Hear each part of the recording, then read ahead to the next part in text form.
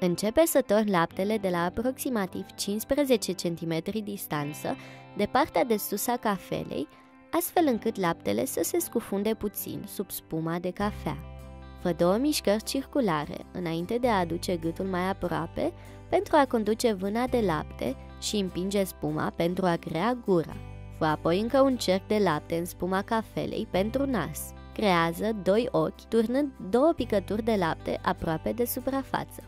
Pentru a completa ochii, poți folosi puțină spumă de cafea pentru a face pupilele astfel. Iată o reluare încetinită pentru a putea observa din nou mișcările adecvate.